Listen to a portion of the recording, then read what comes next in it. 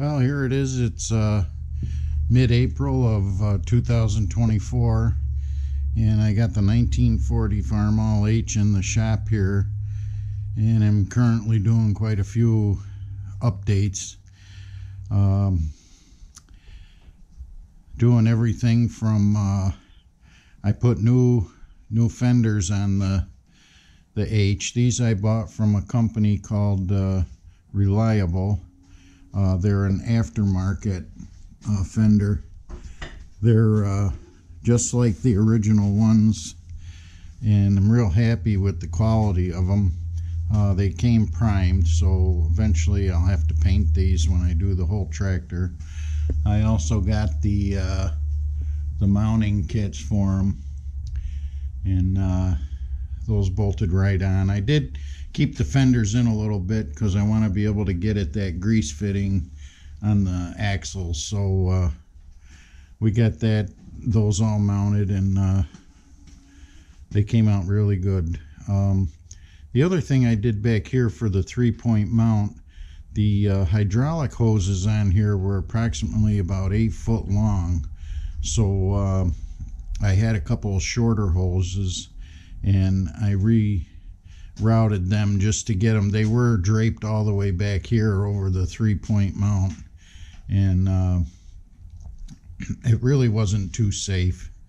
It uh, was kind of cumbersome with the extra hose length, so uh, we updated that.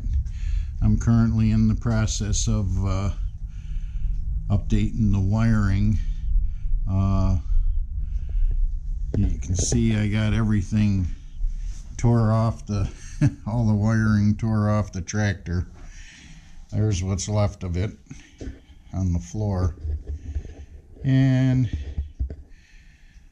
we'll go to the other side of the tractor now.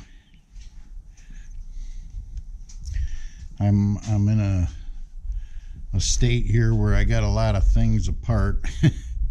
Got the distributor apart. I'm putting new points and everything in there got a little hour meter I mounted on the the side there just to keep track of the hours on the the H. Um, I did purchase uh, a 12 volt conversion kit uh, from a fellow I believe he's in uh, Minnesota. Uh, his name is Charlie uh, his website name is Charlie's Repair.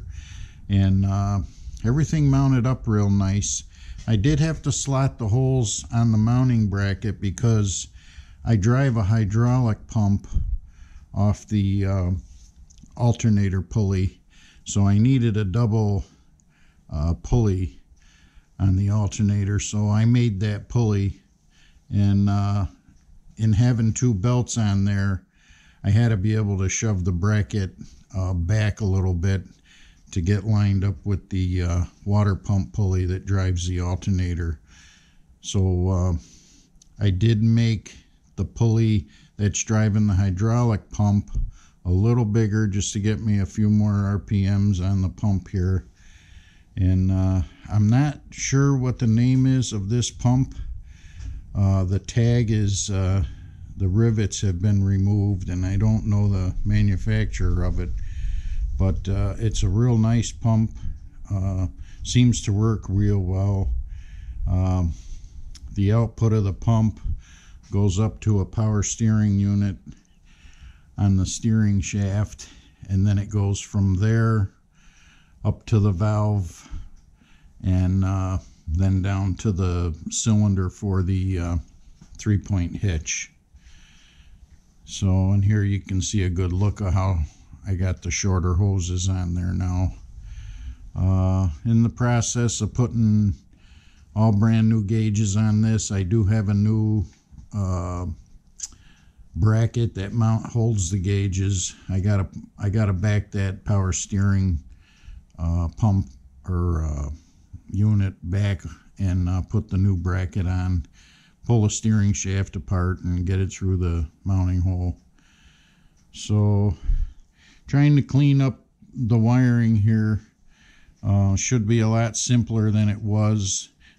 Uh, one thing that's nice with Charlie's repair is it comes with a new uh, 12 volt coil that has the resistor built right into it and uh, that's going to save quite a bit of wiring and then also the the Denso alternator which is one of those minis uh, hopefully it tucks up under the hood. Um, that has a built-in regulator. It's a it's a single wire alternator. So uh, excited to see how that works. But yeah we're uh, right in the middle. Thought I would just give a little update on what I've been uh, doing to the H. I did put a new uh, uh, crankshaft to water pump drive belt on the the tractor. While I was in there with the belts, I figured it was a good time to put it on. The the belt that was on there did show some uh, separation and and that, but it's such a big belt. I I think it probably would have been fine but uh, figured why I had things apart I would update it and I, I did put a new gas tank on this that I purchased and uh, it was very clean inside but I did leave um, I had put in when I was running my temporary tank I did put in an inline uh, fuel filter I did leave that in just till I run a few tankfuls through the um, new tank just to get everything cleaned out good. Um, so yeah, we're just working away at getting getting the wiring all done on this and uh, plan on using this this summer to do some brush hogging and uh, I have a six foot finishing mower that's working out real well on this. And uh, so hope uh, hope you enjoy the videos and uh, thanks for watching. I truly appreciate it. Bye for now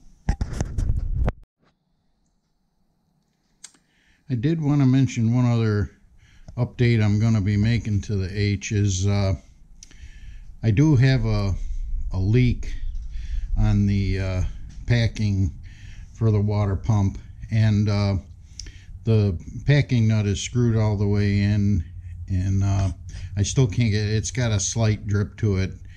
But uh, I decided when I take this all apart, I'm going to put a new water pump on it. And this uh, water pump I purchased from Steiner Tractors. And uh, it's got all updated bearings and seals in it. Still operates and looks just like the original but it doesn't have the uh, the drive uh, bolts that have the posts on them that come out to like a cross piece that drive the uh, impeller pump. So this this has all updated seals in it and uh, quite anxious to see how this works. Still has the adjustable sheave for the the belt tension on the the water pump and uh, has still has the pulley for the alternator.